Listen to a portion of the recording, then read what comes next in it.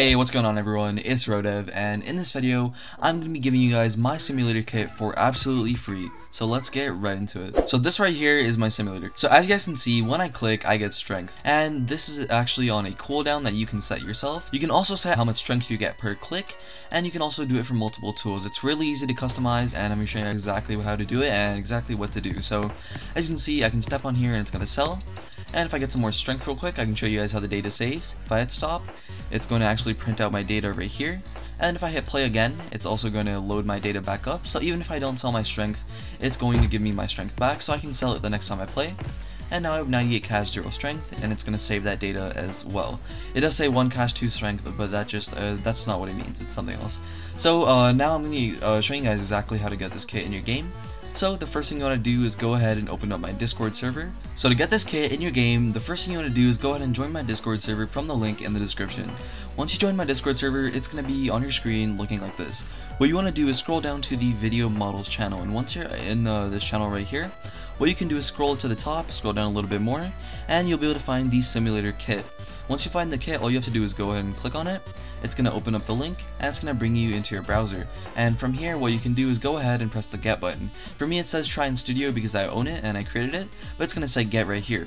Once you get the kit, the next thing you want to do is go back to Roblox Studio. Once you go back to Roblox Studio, what you want to do is go ahead and open up your toolbox.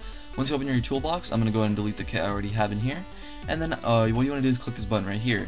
Then what you want to do is just go ahead and make sure it's set to My Models, and then go ahead and click the simulator kit. Click OK because it has scripts in it, and then what you can do is open this up. Now for all of these uh, places or services, you want to go ahead and drag them in.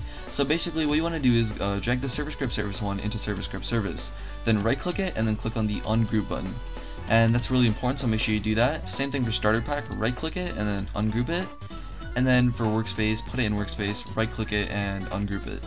And then for the simulator kit folder right here, you can right click and delete it once it's empty. And then from there, what we can do is go ahead and customize the tool. So inside the weight, you'll find a folder called simulator tool. And you just want to go ahead and edit the cooldown if you uh, if you want to. I'm going to make it one second. And for the amount, you can also change it to like two. You can also change the name of the stat. So if you don't want a strength simulator, you can go ahead and change that. Say you want something like a balloon a balloon simulator. You can get a balloon tool, then put this simulator tool folder inside the balloon, and then with that, uh, what you can do is go ahead and change up the amount and cooldown. So I'm actually going to do, uh, do that real quick to show you guys. So just to show you guys how easy my kit is. So basically I'm just going to get this balloon, and then I'm going to put it into the starter pack. And then inside the balloon, I'm going to delete everything that's not a part.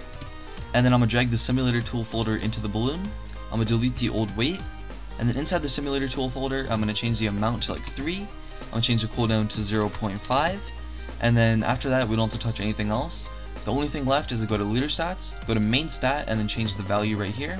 And by the way, if you don't see Explorer or Properties, go to View and make sure you turn them both on right here. And then uh, in the main stat right here, we can actually go ahead and change the cash. I'm going to call it money. And then for the secondary stat, we can call it like balloons or something. And once you're done that guys, you can go ahead and load up the game. If there are any errors in the output, what you have to do is open up the script, go to DS key right here, and change it to anything you want. Just make sure it's not the same as the last one. Hey guys, so I'm editing the video right now and I just realized that I forgot to tell you guys something really, really important. So basically, uh, to make sure the data actually saves, what you need to do is click home, and then click on game settings, then go down to like security, and then make sure you uh, turn on studio access to API services, if it's not on, the data won't save, so make sure you turn that on. And that's basically all, all there is for me. And then what you do is go and hit play, and all the data will be reset, but the simulator will work. So if you change the leader stat folder names right here, you're going to have to reset all the data. But now as you can see, when I click my balloon, I get balloons, and I can sell it, and it's using the cooldown, and it's also using the amount that I put that I specified. So as you can see, when I step on here, it sells, and when I click, it gives me balloons. So that's basically how you set up a simple simulator with my simulator kit. And other than that guys, if this video really uh, did help you and you set up your own simulator, please be sure to leave a like and subscribe, just so I know that the video did help you.